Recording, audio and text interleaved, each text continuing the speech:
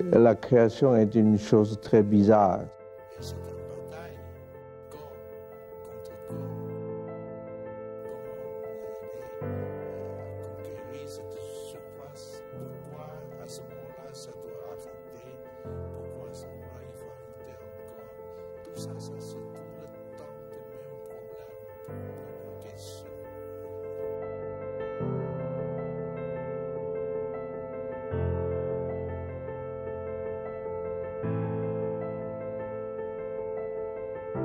Zao Wou-Ki was born in Beijing in 1920.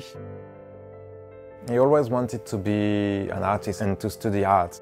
So he succeeded to convince his father, who was a banker, to let him try to enter the Hangzhou Fine Art School, uh, which was at the time the more modernist uh, school in, uh, in China.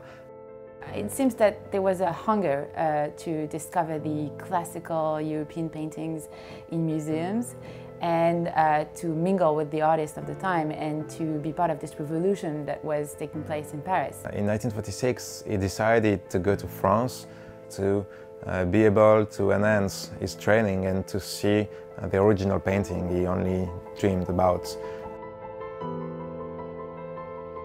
The only French word he knew when he arrived in Paris was Montparnasse.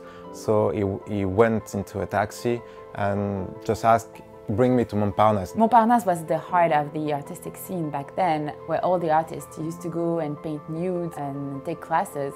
When he arrived, of course, he was quite unknown. He was one of the rare Chinese people in, in Paris. But in a very short time, he knew all the people you had to know in Paris, intellectuals, musicians, poets, painters and gallerists.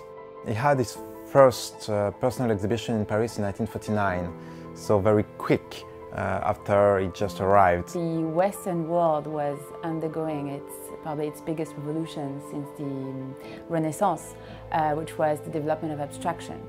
But Wou-Ki decided to keep on with reality and to, and to, to be involved in the figurative world. And he started uh, developing a style very much inspired by uh, Paul Klee. And then he moved on to be integrated into the art informel movement. And it's only in 1954 that he created his first abstract painting, Vent, Wind, and which is now in the Centre Pompidou. And nothing is linked to the wind because he wanted to represent something that you cannot see, something that you can only feel. And what he was interested in is just to figure out how you can represent the wind. He went back in China in, for the first time in 1972 the China he discovered that there was no comparison with the China of 1948. But that reconnected him with the Chinese roots, with the Chinese tradition, the Chinese landscapes, and that's also something that bring him to uh, paint differently. It changed his way of painting oil painting.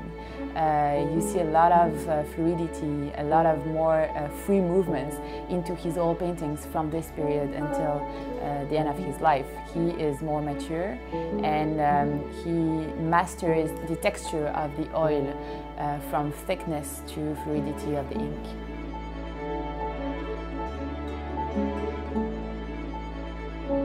Today, he is recognized by the institutions, the museums, and the private collectors as a master of the 20th century. He was one of the first who tried to mix Asian traditions with European modernism.